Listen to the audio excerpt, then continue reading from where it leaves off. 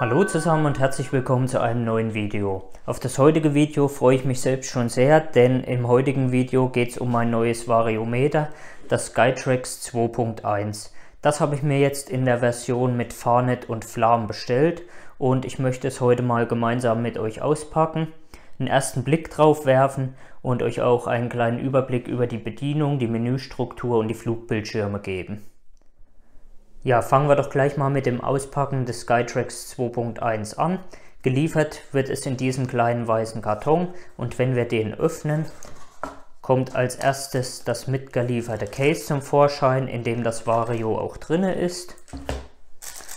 Dann ist dabei ein USB-Ladestecker, wie man ihn vom Handy kennt, ein USB-Lade- und Datenkabel, ein selbstklebendes Klett zur Befestigung des Varios am Beinhalter oder auf dem Cockpit und eine Kurzanleitung, in der die wichtigsten Bedienelemente und Funktionen eben beschrieben sind. So, als nächstes würde ich sagen, packen wir doch direkt mal das Skytrax aus und schauen es uns mal an.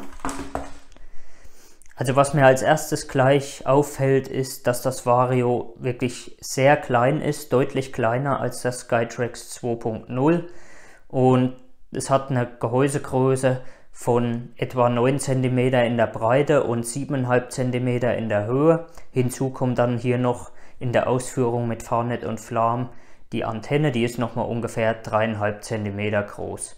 Ist auch wirklich sehr leicht und die Herstellerangabe sind 150 Gramm was das Vario auch wirklich gut dafür eignet, es beim Hike und Fly zu benutzen. Hier außen rundherum ist so eine Silikonschutzhülle, die geht allerdings nicht komplett rundherum, sondern hier hinten ist eine Aussparung drin, um dann eben dieses Klett auf dem Vario zu befestigen.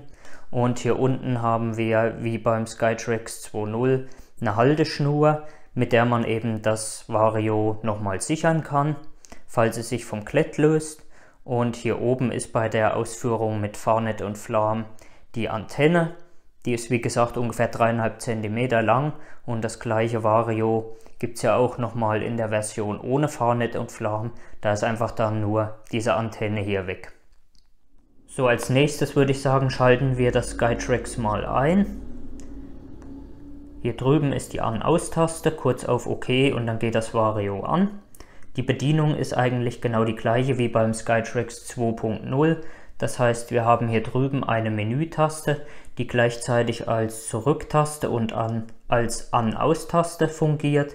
Dann haben wir zum Navigieren hier eine Runtertaste und eine Hochtaste und hier drüben die OK-Taste.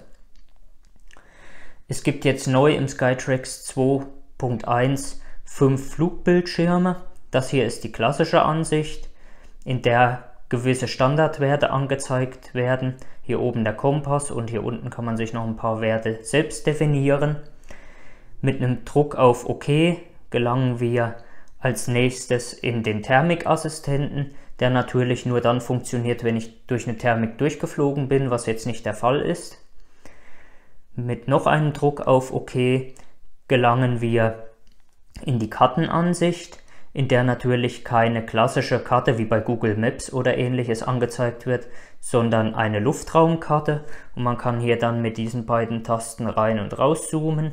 Er hat auch schon ein GPS-Signal scheinbar und zeigt hier den Glasberg als nächstgelegenes Fluggelände an. Mit einem weiteren Druck auf die OK-Taste kommen wir als nächstes in die Ansicht des Fahrnetradars. Das heißt, hier würde ich wenn weitere Farnet-Nutzer in der Nähe wären, denen ihre Geräte sehen und gewisse Werte, also wie weit die weg sind, ob sie steigen oder sinken haben und könnte denen auch Nachrichten schicken oder Nachrichten hier drauf empfangen. Mit einem weiteren Druck auf die OK-Taste kommen wir in die XXL-Ansicht, in der man sich ganz einfach drei Werte definieren kann und die dann sehr groß angezeigt werden. Und zum Schluss Kommen wir zum Dreieckassistenten. Man sieht hier oben schon XC-Punkte und XC-Typ. Und das Vario würde hier berechnen, wie ich fliegen muss, um ein Dreieck zu fliegen mit maximal vielen XC-Punkten. Das Ganze funktioniert natürlich auch nur dann, wenn ich schon angefangen habe mit dem Vario zu fliegen, was jetzt nicht der Fall ist. Mit einem weiteren Druck sind wir dann wieder bei der klassischen Ansicht und das sind schon mal die fünf Flugbildschirme. So, dann schauen wir uns noch mal kurz das Menü an. Hier drüben haben wir die Menütaste und gelangen dann in das Hauptmenü und mit dem Druck auf OK komme ich dann jeweils in die Untermenüs.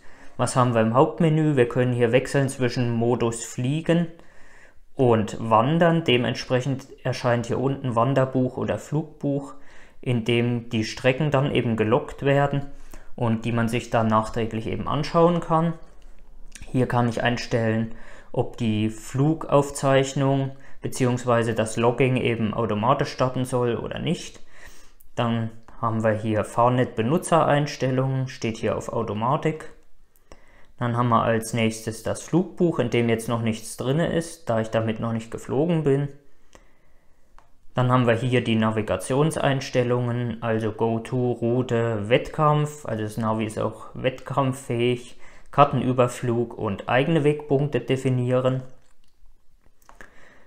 Unter Einstellungen kommt man in die zahlreichen Einstellungsmöglichkeiten des Skytrax 2.1. Zum einen natürlich das Vario selbst, da kann ich mir Steigton, Sinkton, Ruhe am Boden, die Sensibilität, Integrationszeit, das Tonprofil und so weiter definieren.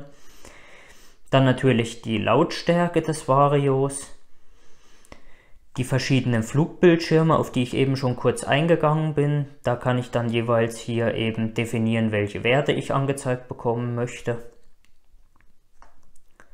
Dann natürlich die Pilotendefinition, also da kann ich einen Namen vergeben. Gewisse Fahrnet-Einstellungen, also ob es an oder aus sein soll, ob Flam an oder aus sein soll.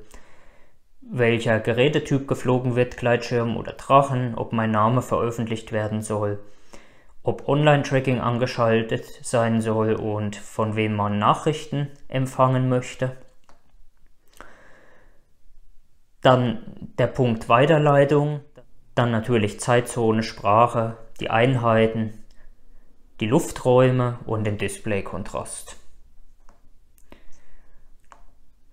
Dann gibt es im Hauptmenü noch den Gerätestatus. Da kann ich mir anschauen, wo ich mich gerade befinde, also die GPS-Koordinaten, die aktuelle Höhe, den aktuellen Luftdruck und den aktuellen Akkustand. Dann natürlich der Punkt Online-Update und ganz unten kann ich das Gerät ausschalten. Das kann ich aber auch so machen wie beim Einschalten, das heißt lange auf den Ein-Ausschalter und kurz auf OK und dann erscheint hier vielen Dank, dass Sie mit Skytrax fliegen und dann geht das Vario aus. Ja, ich will auch noch mal kurz zeigen, was ich mir zu dem Vario noch dazu bestellt habe. Und zwar einmal die neue Skytrax Komfort Beinhalterung, die genauso aufgebaut ist wie die alte Beinhalterung, nur dass sie jetzt rechteckig ist und nicht mehr oval. Ganz einfach, weil die neuen Skytrax Varios auch beide rechteckig sind und das Skytrax 2.1, das passt hier wirklich ideal drauf.